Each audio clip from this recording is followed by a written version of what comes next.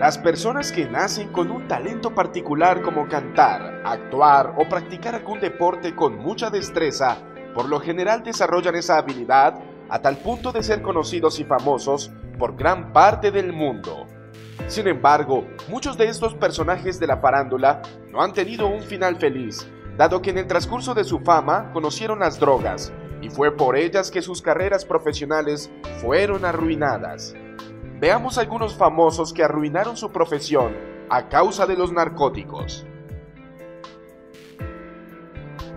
Whitney Houston. Desde joven inició su carrera como actriz. Fue después del éxito de la película El guardaespaldas que Whitney conoció la fama porque se convirtió en una mujer muy cotizada. Era tanta su fortuna que quiso probar cosas nuevas se introdujo en el mundo de la cocaína, marihuana, entre otras sustancias. Después de sobrevivir a varios grupos de rehabilitación, supuestamente murió de sobredosis en su tina en el año 2012. Ryber Farnix Cuando inició su carrera como actor, estaba catalogado como una de las estrellas más recientes del cine y le auguraban grandes éxitos. El querer vivir la vida bajo muchos extremos hizo que se volviera un adicto a las drogas y al alcohol. El 31 de octubre del año 1993, mientras festejaba el Halloween con sus amigos, murió a los 23 años por ingerir un alto contenido de alucinógenos. Lisa Minnelli nació en un hogar de artistas.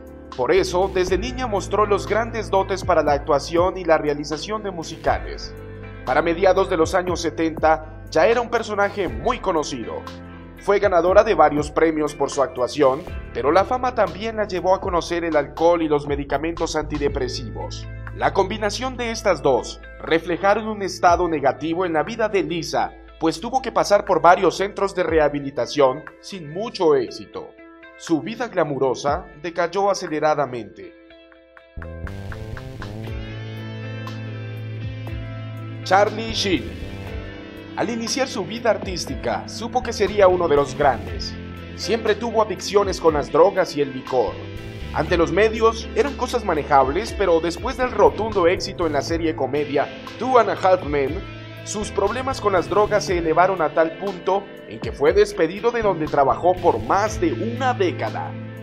Hacia finales del año 2015, le diagnosticaron SIDA, lo que terminó de hacer de su carrera una historia que tuvo un final poco optimista.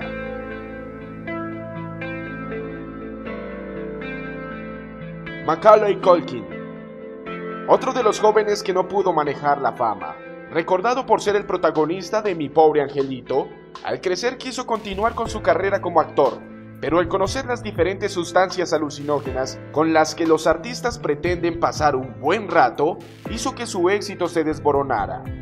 A comienzos del año 2010, cuando acababa de cumplir 25 años, fue detenido en Oklahoma por tener varias drogas en su poder.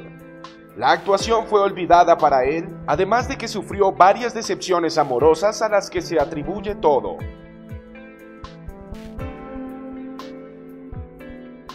Lindsay Lohan.